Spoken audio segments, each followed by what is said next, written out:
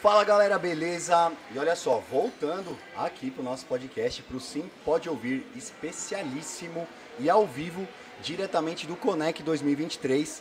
Estamos aqui com uma presença ilustre do Márcio Benevides, diretor executivo da Zurich Canal Corretor. Márcio, vascaíno, vasca, Ah, parceiro. Eu falei que não era pra falar disso. Não, mas eu sei que todo mundo no fundo torce pro Vasco, cara. Torce pro Vasco, porque precisa. T- Toda energia é bem-vinda, né, Márcio? Nos últimos 10 anos, acho que todo mundo torce pro meu time. É sempre bem-vindo, é sempre bem-vinda essa energia. Seja muito bem-vindo, obrigado, Obrigado. pela disponibilidade de poder estar participando conosco ao vivo aqui show do de Conect. bola, show de bola. É importante te dizer, eu sou o diretor executivo hoje da Zurich, mas eu sempre fui corretor. A minha história, a minha ah, 20, 40 anos de, opera de, de trabalho no mercado segurador, 40, ó, minha idade é 41. Bom, eu comecei Não- com não 15, entrega meu nada. irmão. Putz. Comecei com 15 no mercado. E sempre como corretor. Que então, legal. essa conexão de Conec, Sincor, isso daqui para mim é estar em casa. Então, para mim é muito bom estar falando com, com esse público, corretor de seguros, mercado segurador. Para mim é show de bola. Então a gente vai estar em casa, porque eu, eu sou corretor, né? E a gente vive o dia, o dia a dia, os desafios de um corretor. Que na verdade, a nossa profissão ela vem evoluindo cada vez mais. Muito em parceria com as seguradoras, por conta da tecnologia, da proximidade. O Conec mesmo, ele aproxima mais também as, as seguradoras, as operadoras do, do corretor de seguros. Yeah. Então é muito importante também o corretor estar envolvido nesses eventos para se aproximar, porque a gente vem de uma era online, né?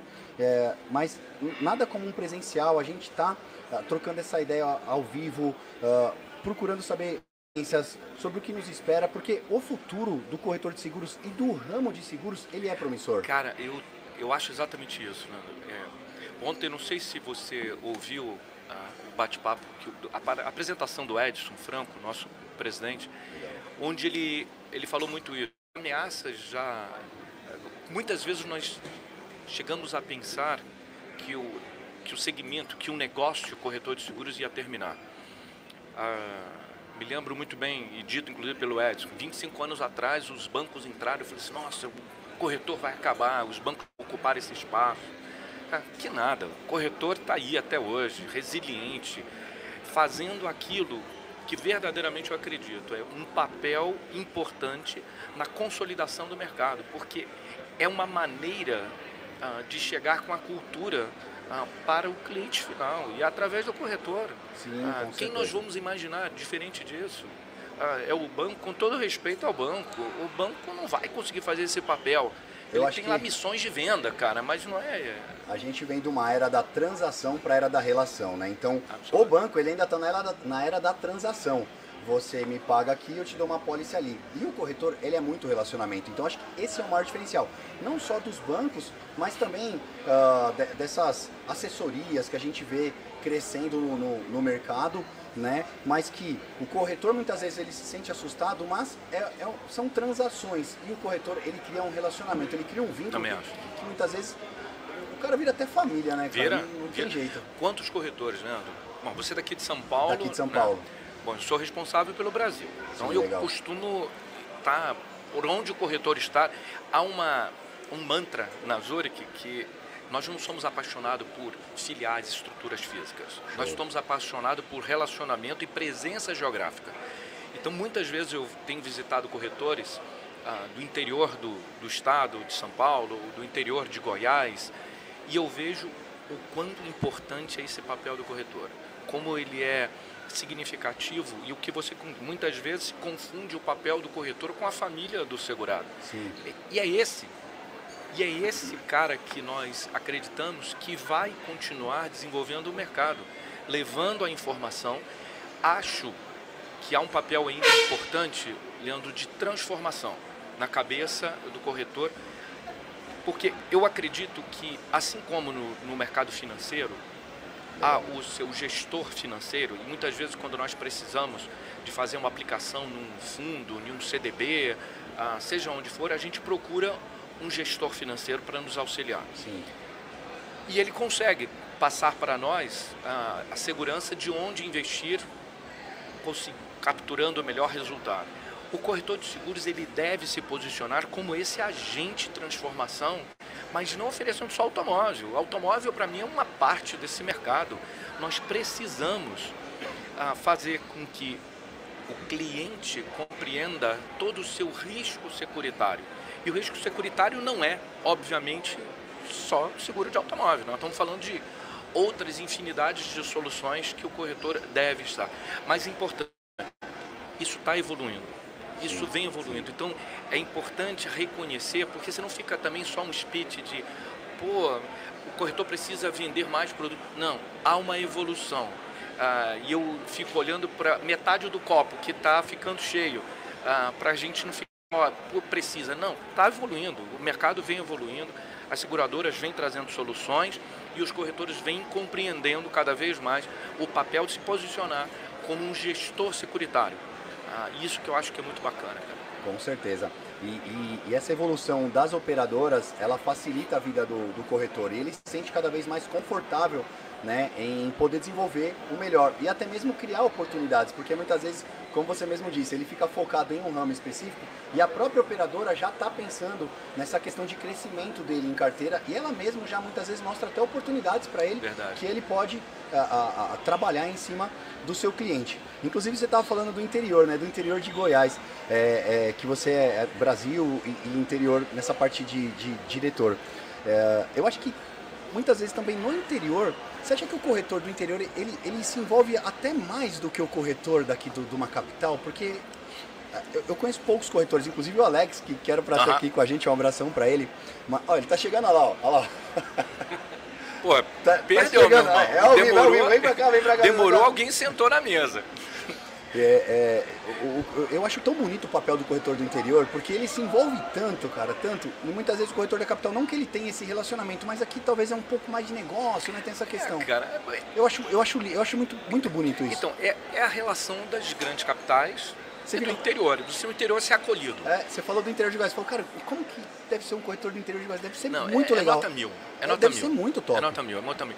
E ter esse, poder ter essa oportunidade. Legal há uma coisa importante, Leandro. Assim, quem gosta de gente, é.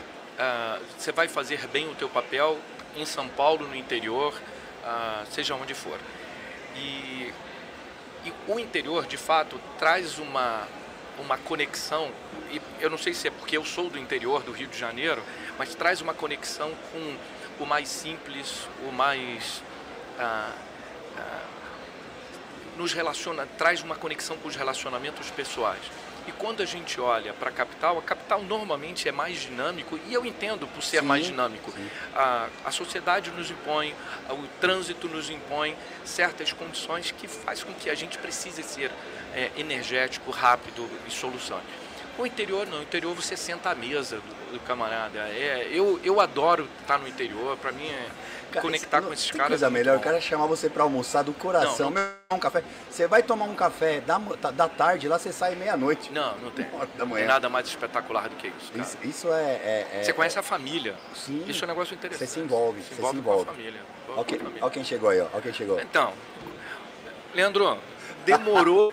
a gente já começou, cara. O, a gente já foi. Foi, o Alex, é, vamos embora, vamos embora, né? Vamos embora. E, e, o papo tá gostoso pra caramba, é, né? Vamos embora. Que bom que você tá aqui, bom cara. Bom dia, bom dia, Márcio. Bom Tudo dia, bem irmão. com vocês? Beleza, Alex. É um prazer estar aqui, apesar do imprevisto. Imprevisto, imprevisto acontece. Imprevisto quase não faz parte do dia a dia do corretor de ainda mais ao, né? Ainda mais ao vivo, né? ainda mais ao vivo, Já estamos né? acostumados, já estamos acostumados. Mas, ô Leandrão, aqui na verdade o nosso papel é contribuir com 1% do que esse cara tem para passar para nós, né? É só não atrapalhar, né? Hum. Porque na verdade ele fala que pode falar o dia inteiro dando aula para nós. Não, né? não pode não. Acho que é uma troca, como você falou, para mim isso aqui, eu acho que essa que é a bacana da dinâmica do podcast, né? Uh, não há muita ordem, não há muita. Uh, mas isso não significa que é uma hierarquia, uma, uma uma disrupção Sim. de um modelo, mas a gente consegue trocar, para mim funciona super bem. Perfeito. E é um cara que era corretor de seguros, adora pessoas, então acredito que a Zurich está muito bem representada, o corretor em si ele está muito bem representado por alguém que já viveu isso, né? A gente percebe que até mesmo no futebol, trazendo um pouquinho Lá ali do... ele de novo, cara, vai falar do meu Vasco. do Vascão que tá ah, crescendo. É vascaíno, Márcio? Do Vascão tinha, que tá crescendo. Ele tinha que ter um defeito, né? Cara, eu continuo, continuo vascaíno. Continua. Continua. E vou assim, até morrer. É forte. E aí quando você tem às vezes um treinador que já viveu, que já jogou bola, é, é um cara que tem uma, uma visão muitas vezes diferente e que talvez entenda algumas coisas que o jogador ali está querendo falar. É como o, o, o, executivo de, de, de seguradoras.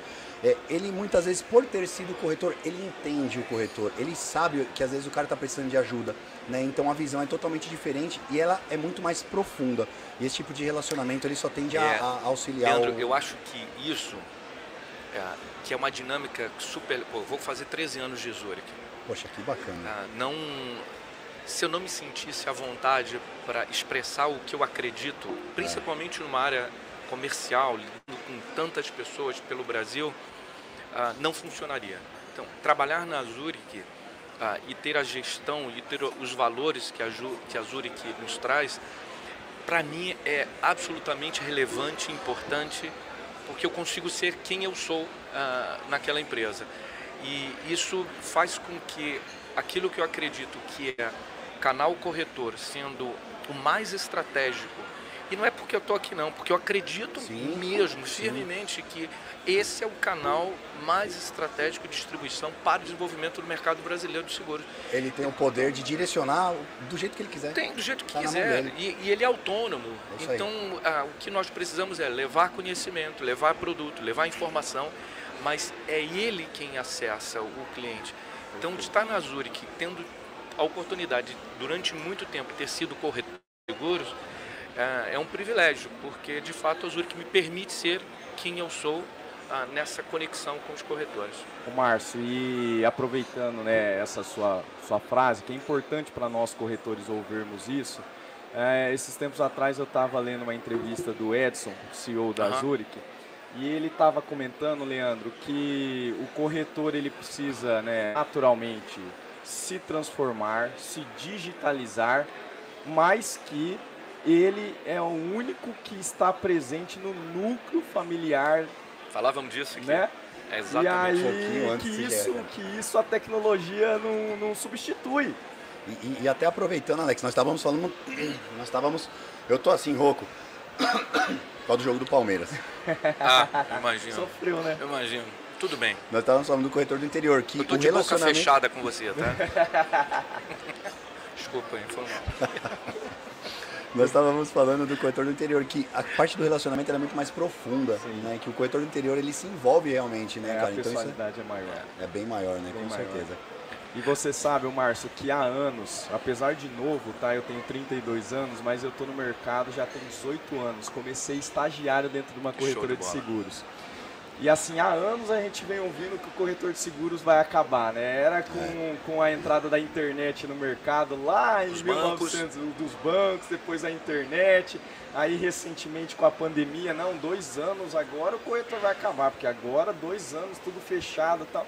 E pelo contrário, a gente vê crescimento, a gente vê uma confiança, uma credibilidade maior na, na, na nossa profissão, naquele serviço que a gente presta. É isso aí. É, e, e é interessante que eu digo assim, o corretor de seguros, eh, quando me perguntam, viu Leandro, se o corretor de seguros vai acabar, eu falo depende.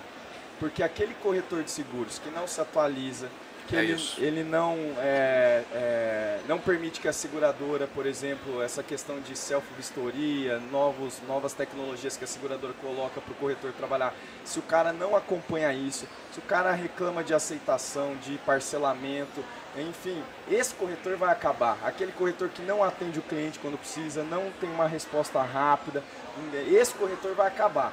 Agora o corretor que trabalha bem, que trabalha sério, que atende o cliente, Não que dúvida. acompanha a evolução, a, a inovação, esse corretor não vai acabar nunca. Esse é, não acaba mesmo. Porque nós falávamos um pouquinho antes aqui, de você chegar, Alex, o, por mais que a gente perceba um mercado se movimentando, Sim, o papel consultivo sempre haverá, sempre cara. haverá. Sempre haverá. O- nenhum canal consegue ser tão presente na vida, Sim, na família, Ex- ah, do que o corretor. Ah, o que a gente precisa é, eu sou concordo 100% com o que o Edson disse, a, a digitalização é importante para o ganho da eficiência. Do corretor. Exato. E eu sempre digo o seguinte, eu falei, galera, o corretor de seguros, a despesa administrativa sai do bolso do cara. Quanto mais eficiente ele for, Mas ele vai. mais ele rentabiliza a investir. operação dele. Então ele precisa ser eficiente. E eficiente passa por digitalização de processos. Isso não há a mínima dúvida. Mas isso não é fim, cara. É. É, às vezes há uma confusão de, pô, teu corretor vai morrer se não digitalizar. Ah, eu acho sim que é importante a digitalização. Mas mais do que isso, é importante a construção do relacionamento, a manutenção desse relacionamento, seja com o cliente, seja com as seguradoras. E aí, para mim, que é o grande ah, modelo que a Zurich tem proposto ao mercado. Inclusive está escrito aqui na nossa costa aqui, está escrito aqui, né, atrás da minha cabeça. Ah, que relacionamento, ah, através do relacionamento nós construímos um modelo eficiente de venda. Eu não acredito em. Eu falava isso muito para os corretores aqui no Conec. Eu não acredito em sentar com o corretor e falar assim: "Pô, quanto a gente vai produzir? Eu acredito sim. E aí? Quem é você? Perfeito. Me conta aí um pouco de você, me conta um pouco da tua estratégia, me conta um pouco da tua família. A partir de relacionamento a gente constrói confiança, confiança a gente constrói venda. Mas é Boa. bom ver. É. Não existe esse papo de corretor de seguro vai fazer seguro numa seguradora que ele não confia, que ele não tenha relacionamento com as pessoas. Ele não vai fazer. Não vai fazer, cara. Porque sabemos, sabemos, Leandro, que em algum momento ou eu vou errar, Sim. ou o corretor vai errar. E o que vai definir nesse que existir uma momento parceria.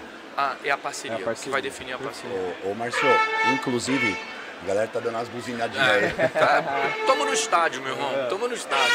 Aí, Olha lá, ó. aí, ó. Toma no estádio. 10 mil pessoas é Não, público, é um estádio. É um estádio. Já lotou São Januário. É lá, já lotou São Januário. Mas o que eu, o que eu queria dizer é, é, referente à, à questão do desenvolvimento né, do corretor, das tendências. Né? Então a gente percebe que o ramo de seguros ele é um ramo que vem crescendo. Tá? Verdade. É, ele é um ramo que vem evoluindo. E temos uma estatística e que ele pode até dobrar num, num- num tempo de 5 anos. Nós temos 133 mil corretores, né, quase 60 mil corretoras que também vão evoluir junto. Né? Como que a, Ju, a Zurich é, ela aproveita esse crescimento dos seguros? Né? Como que o corretor ele pode olhar a Zurich ali como um grande parceiro? O que, que ele pode usufruir da Zurich ali? Porque é uma onda, cara, que vai ser é, é, surfada para quem tiver é, a- a- a- crescendo né, junto com a questão do desenvolvimento, da tecnologia, é, que os caras, é, que, que os corretores estiverem próximo das, das seguradoras, né? Como que a Zurich enxerga esse crescimento, né? E, e é exponencial, a gente percebe isso. E, e vai crescer rápido. E, e como que o corretor ele pode se aproximar da Zurich Então, ali? cara, eu, eu acho que tem o seguinte, Leandro.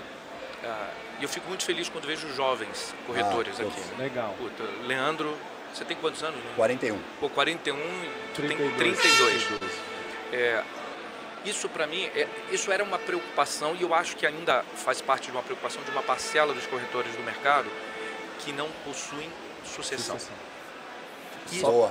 Só fazendo um parênteses, Isso é um mas assunto. Então, nós isso, falamos- isso é um negócio daria, daria outro podcast. nós falamos sobre isso tem um corretor de seguros e com a filha aqui no Então. podcast, o Marcos de Ribeirão Preto, Então. o Marcos Alonso. Aham, Verdade. aham. É sobre sucessão. Então, eu acho que esse ah, é um ponto que o corretor tem que ficar atento e a Zurich tem que ficar atento. Sim. E eu vou, vou me explicar aqui. Porque eu estava preparado, ou melhor, o mercado está preparado até hoje de uma forma de se relacionar com os corretores e vocês e nós com os clientes. Há um processo de transição, há um processo de mudança. E fico feliz quando vejo, como disse, jovens como vocês assumindo corretores, porque o modelo de venda, o modelo de distribuição que vocês vão propor Vai mudar. vai mudar, cara. mudar. Não vai ser igual. E nós temos que estar preparados, seguradora, para isso.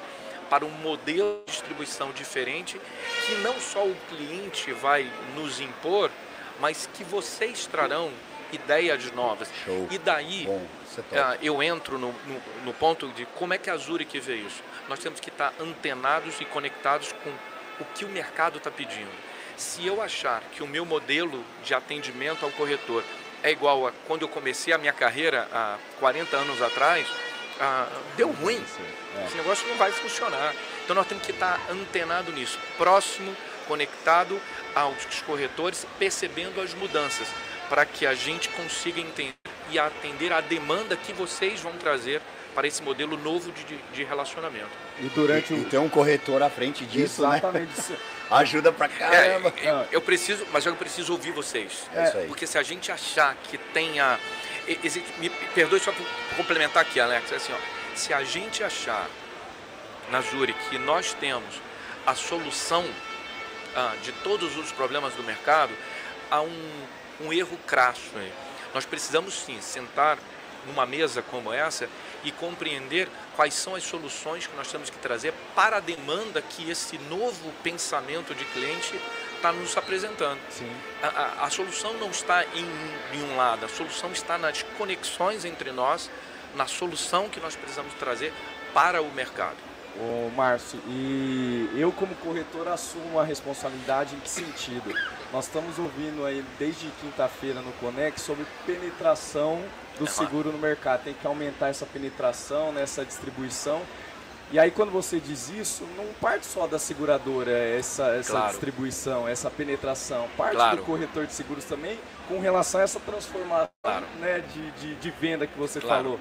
Então acho que nós, como os corretores, nós temos que assumir a nossa parcela Então, de responsabilidade nisso. E, e aí, que- por isso que eu gosto muito desse, desse mercado tendo o corretor como um papel distribuidor, porque a gente pode sentar à mesa e conversar. Não é um, não é um modelo onde eu coloco num balcão Fixo, e falo, né? "Ah, vende aí. É. Não, cara, a É gente assim, senta né? e discute e pensa no modelo. E aí que eu acho um negócio interessante, Leandro, é que a Zurich ela não é uma seguradora de automóvel. A gente não se Muito apresenta produto. assim, uma, uma seguradora de automóvel? Não. Se fosse, eu teria tido um problema agora no, ah, nesse momento de pandemia, onde a sinistralidade decolou, ah, afetou? Claro que afetou. A nós, como todo o mercado. Mas para nós, Zurich, eu não tenho a missão de distribuir seguro de automóvel. Eu tenho a missão de distribuir produtos ah, para as soluções dos seus clientes, Alex. Para as soluções dos nossos clientes. E aí que acho que a dinâmica que nós temos que insistir. Precisamos continuar alinhando com os corretores a necessidade, voltando ao início aqui do nosso papo, cara. Boa. É, perceber que o papel do corretor ele é consultivo. Enquanto consultivo, ele deve entender qual é a necessidade do cliente, cara, para que a oferta chegue no momento certo, que atenda a expectativa e que amanhã a gente não se culpe por não ter tido e não ter feito o papel por um cliente nosso ter falecido e eu não ter oferecido um seguro de vida e aí a família dele fica desamparada. E, e o Então, corretor esse é o vai, papel ele vai se corretor. sentir culpado se isso acontecer. Claro. Ele, ele, ele, no fundo, ele vai ter aquela sensação de que, pô, eu poderia ter ajudado. poderia a família. ajudado.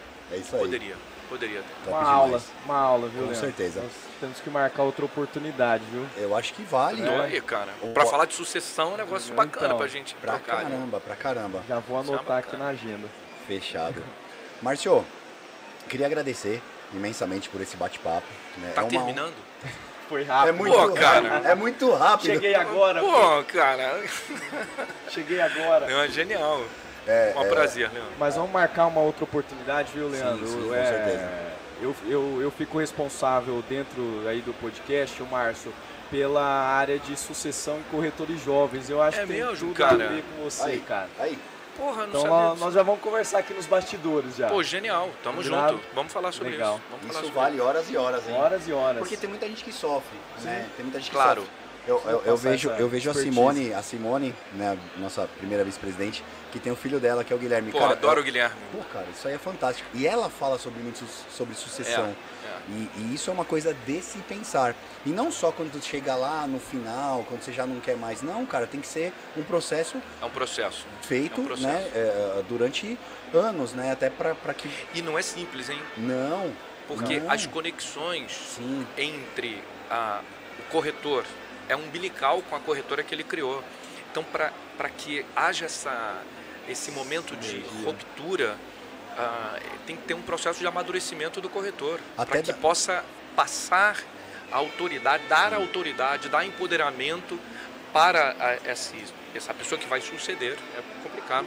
E, e até só pra gente finalizar, a questão da importância né, ali do, do- dos pais, enfim, da, da- do responsável pela empresa, inserir essa importância da sucessão aos Absoluto. poucos. Porque às vezes a, a pessoa, seja um filho ou seja alguma outra pessoa, ele pode ah, ah, é, não querer naquele primeiro momento. Talvez porque seja um impacto muito forte para ele e ele não entender um contexto e ele não entender a importância. Então, talvez você trazendo isso de uma forma diferente, ele entenda e ele absorva também de uma forma diferente e que isso faça com que ele é, assuma aquilo com responsabilidade, Responsabilidade. e não assumir por assumir, igual nós vemos não só no ramo de seguros, mas outras empresas que o filho cara. só cai ali porque De paraquedas. É, de tem- O que, que eu paraquedas. tô fazendo aqui? O que, que eu tô fazendo aqui? É Verdade, isso aí, show de verdade. bola.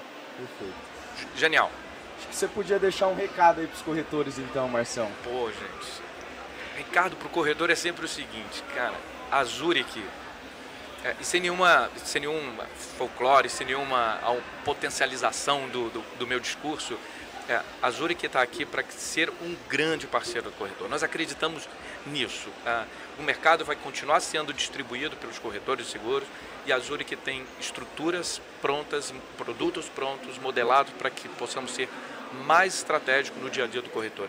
Então a, a mensagem é assim, cara, nós queremos ser cada vez mais parceiros do corretor e uma mensagem importante, nós seremos a melhor seguradora desse país para o corretor. Isso eu não tenho Não. eu não tenho Ó, pensamento de caramba, ah, eu quero é- ser a maior seguradora. Não faz parte da Vai estratégia. ter um corte de podcast disso aí, hein? Pô, É, o- Nós pode, vamos cobrar, hein? pode. Vai ser uma GIF, né? De ser 5 uma segundos GIF. que a gente Mas vai ficar voltando e. Nós seremos a melhor seguradora para o corretor. Eu não tenho dúvida disso. É nisso que o comitê estratégico pensa todo dia. Ah, ser a maior seguradora, isso não faz nenhum sentido para nós. Agora, sentido faz o ser corretor. o melhor parceiro para o corretor. Perfeito. A consequência, pô, talvez um dia nós sejamos maior, mas isso não é estratégico. Estratégico é ser o o melhor. Antes da gente finalizar, vamos tirar uma foto ao vivo aqui, ó. Olha lá, com a câmera ali, a galera ouvindo ali, ó. Valeu, pessoal. É isso aí. Fiquem Marcelo, ligadinhos. Que em dois minutinhos voltamos, hein? Valeu, pessoal.